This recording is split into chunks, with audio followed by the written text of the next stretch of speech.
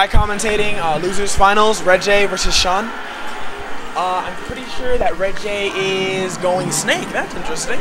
Um, Red J Snake, he played it in doubles with um, not as much success as I think he wanted, but you know he has Sal to train him, and he has a lot of videos to watch. It's, and he's just a good player in general, so I'm sure he can pick up Snake very easily. So this will be an interesting match.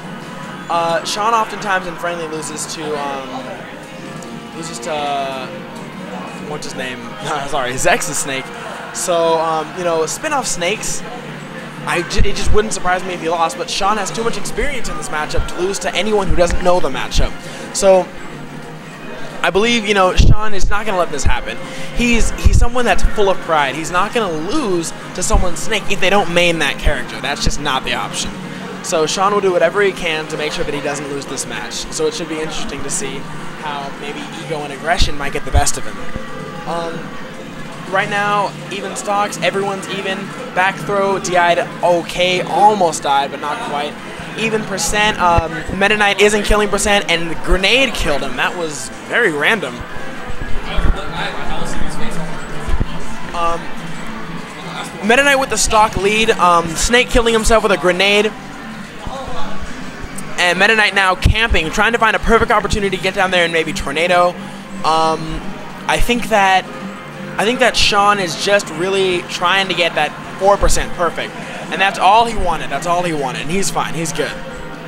This part of the stage I think is good for uh, for Meta Knight. There aren't any um there's not a lot of room to camp for Snake, and once Snake gets off stage, it's really easy to punish him because there's really no um there's really no risk. You know, there, there's no risk for Meta Knight to go out there and punish because there's just so many there's so many avenues to pursue when coming back on the stage here considering it's always teetering, I, would only assume that would mess up some of Snake's metagame with his um, grenades. I'd only assume that because it's tilting, his grenades might not go where they want him to go, and it just seems overall not the best place for Snake to be. And Sean taking advantage of Red J's serious habit, which is air dodging down um, to everything.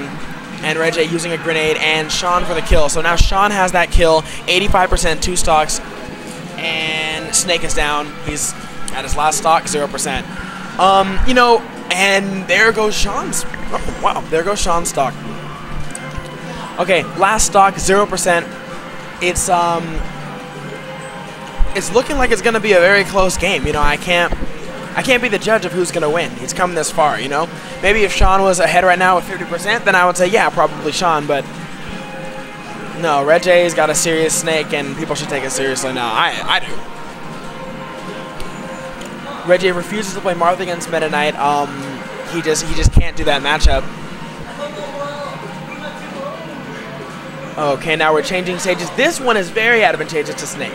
Not only can he get really good pivot grabs and delay hitboxes with the statues, but he can also camp, but that's the first round of Losers Finals.